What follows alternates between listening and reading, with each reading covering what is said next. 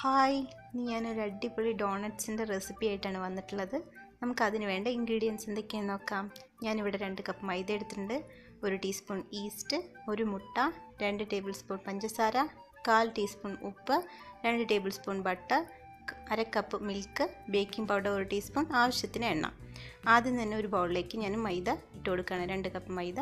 അതിലേക്ക് നമ്മൾ baking powder ഒരു ടീസ്പൂൺ ആഡ് ചെയ്ത് കൊടുക്കുന്നുണ്ട്.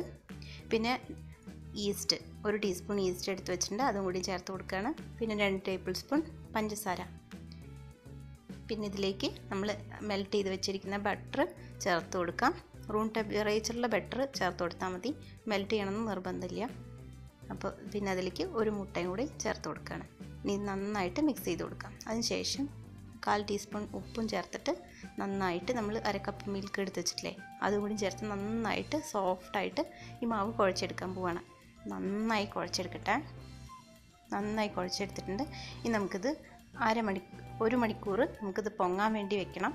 നല്ല ചൂടുള്ള ഇതിനനുസരിച്ചിട്ട് നമുക്ക് ഒരു മണിക്കൂർ വെക്കാം. നന്നായി പൊങ്ങി വന്നതിന് ശേഷം നമുക്ക് ഈ മാവ് ഒന്നുകൂടി നന്നായിട്ട് കുഴച്ചെടുക്കണം. ഞാനിവിടെ ഒരു മണിക്കൂർ മാവ് വെച്ചിട്ടുണ്ട്. അതിനുശേഷം ഞാനിത് തുറന്നിട്ട് നന്നായിട്ട് കുഴച്ചെടുക്കാൻ പോവാണ്. നന്നായിട്ട് ഒന്നുകൂടി സോഫ്റ്റായിട്ട് നന്നായിട്ട് കുഴച്ചിട്ട് ഇതിന് രണ്ട് പോർഷനാക്കിയിട്ട് മാറ്റിയിട്ട് നമുക്ക് ഡോണട്ട്സ് ഷേപ്പ് ചെയ്തെടുക്കാം. നന്നായിട്ട് ഒന്നും കൂടി ഒന്ന് വല്ലാതെ പ്രസ് ചെയ്തിട്ട് കുഴക്കരുത്. സോഫ്റ്റായിട്ട് കുഴച്ചെടുക്കാം. എന്നിട്ട് നമുക്ക് കുറച്ച് പൊടി വിതറിയതിന് ശേഷം മൈദപ്പൊടി ചേർത്തതിന് ശേഷം അതിലേക്ക് ഇത് ഈ മാവ് വെച്ചിട്ട് നമുക്ക് നന്നായിട്ട് നല്ല പ്രസ് ചെയ്തിട്ട് പരത്തരുത്. കുറച്ചൊന്ന് സോഫ്റ്റായിട്ട് ഒന്ന് പരത്തിയെടുക്കാം.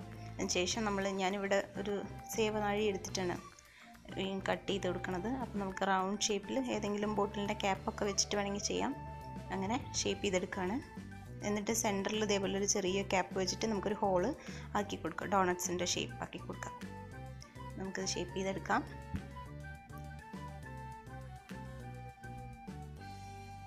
ഞാൻ ഈ സെന്റർ പോർഷനും അതുപോലെ ഫ്രൈ ചെയ്തെടുക്കാൻ പോകണം ഞാനത് വീണ്ടും ഇട്ടിട്ട് കുഴക്കുന്നില്ല പിന്നെ ബാക്കിയുള്ള ഇതും കൂടി അതേ സെയിം പ്രോസസ്സ് റിപ്പീറ്റ് ചെയ്യാം. നമുക്കത് പരത്തിയെടുത്തതിന് ശേഷം നമുക്ക് കട്ട് ചെയ്ത് ഓരോ റൗണ്ട് ഷേപ്പിൽ അത് ഷേപ്പ് ചെയ്തെടുക്കാം.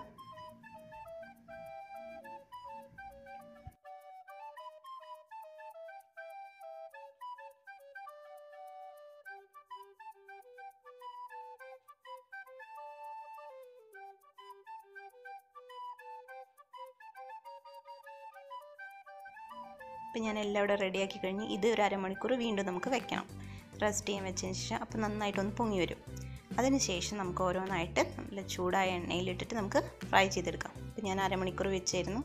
അതിന് ശേഷം ഞാനിത് ഓരോന്നായിട്ട് നല്ല എണ്ണ ചൂടായതിന് ശേഷം പിന്നെ ഫ്ലെയിം എപ്പോഴും സിമ്മിലിട്ടിട്ട് വേണം ഫ്രൈ ചെയ്യാൻ. അല്ലെങ്കിൽ പുറം കരിഞ്ഞു പോവും ഉള്ളിൽ വേവാതെയാവും അപ്പോൾ നമുക്ക് സിമ്മിലിട്ടിട്ട് ഇത് ഓരോന്നായിട്ട് ഇങ്ങനെ ഫ്രൈ ചെയ്തെടുക്കാം. ചെറിയൊരു പാൻ എടുത്തു കഴിഞ്ഞാൽ അധികം എണ്ണ യൂസ് ചെയ്യേണ്ട ആവശ്യമില്ല. കാരണം അത് ഡീപ്പ് ഫ്രൈ ആണല്ലോ ചെയ്യണേ. ചെറിയൊരു പാൻ എടുത്താൽ മതി. അപ്പോൾ നമുക്ക് കുറച്ച് എണ്ണയൊക്കെ സേവ് ചെയ്യാൻ പറ്റും. അപ്പോൾ നമ്മൾ ഇത് ഓരോന്നായിട്ട് ഫ്രൈ ചെയ്തെടുക്കുകയാണ്. നല്ല ഡോണറ്റ്സിന്റെ കളർ അറിയാമല്ലോ ആ ഒരു ബ്രൗൺ കളറിലാക്കി വരും ആയി വരട്ടെ. എന്നിട്ട് നമുക്കിത് എടുത്ത് മാറ്റാം. നന്നായിട്ട് ബബ്ലി ആയിട്ട് നല്ല ഫ്ലഫി ആയിട്ട് വരുന്നുണ്ട്. നല്ല പൊങ്ങി വരുന്നുണ്ട്. അപ്പം അങ്ങനെ നന്നായിട്ട് ഇത് ഫ്രൈ ചെയ്തെടുക്കാം. സിമ്മിൽ ഇട്ടിട്ട് നമ്മളെല്ലാം റെഡി ആയിട്ടുണ്ട്. എനിക്ക് ഇതേപോലെ തന്നെ നമ്മുടെ ബാക്കി ഉള്ള ഡോണറ്റ്സ് കൂടി ഫ്രൈ ചെയ്തെടുക്കാം. നമ്മൾ ആദ്യം ഫ്രൈ ചെയ്ത് വെച്ചിരിക്കുന്ന ഡോണട്ട്സ് നമുക്ക് ഒരു ഞാനിവിടെ ഏലക്കയും പഞ്ചസാരയും കൂടി പൊടിച്ച് വെച്ച മിക്സ് ഉണ്ട്. അതിലൊന്ന് റോൾ ചെയ്തെടുക്കുകയാണ് ഇതുപോലെ തന്നെ ബാക്കിയുള്ള ഡോണട്ട്സും കൂടി നമ്മൾ ഫ്രൈ ചെയ്തെടുത്തിട്ടുണ്ട്. ഇതും നമ്മൾ ഷുഗർ കാർഡമ മിക്സിലിട്ടിട്ട് നന്നായി കോട്ട് ചെയ്തെടുക്കാം. നമ്മൾ സ്പോഞ്ചി ആയിട്ടുള്ള നല്ല ഫ്ലഫി ആയിട്ടുള്ള ഡോണട്ട്സ് ഇവിടെ റെഡി ആയിട്ടുണ്ട്. കുട്ടികൾക്കൊക്കെ വളരെ ഇഷ്ടപ്പെടും. എല്ലാവരും ട്രൈ ചെയ്ത് നോക്കുക. താങ്ക്